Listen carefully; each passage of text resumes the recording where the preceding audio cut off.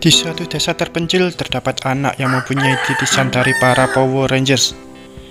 Mereka tidak lama lagi akan menjaga bumi ini dari iblis masru yang ingin menguasai bumi ini kembali.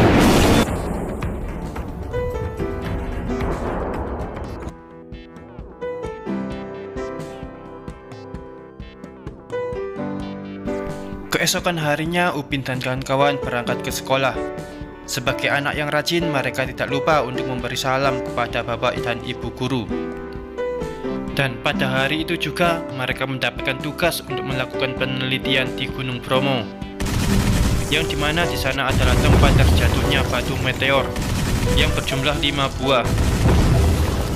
Hingga sekarang batu meteor tersebut masih belum ada orang yang bisa mengambilnya.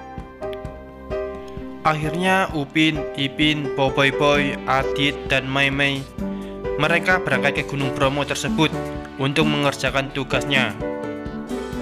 Sebelum sesampainya di sana, mereka menghadapi berbagai halangan dan rintangan dari bawahan iblis Masru yang juga ingin mengambil batu tersebut.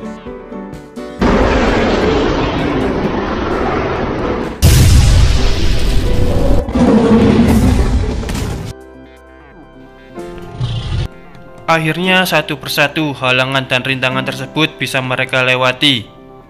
Dan sampailah mereka di tempat tujuan. Mereka langsung menuju ke tempat batu itu. Mereka berlima sangat terkejut melihat keindahan batu tersebut. Saat Upin mau menyentuh batu tersebut Ternyata hal yang tidak diinginkan terjadi.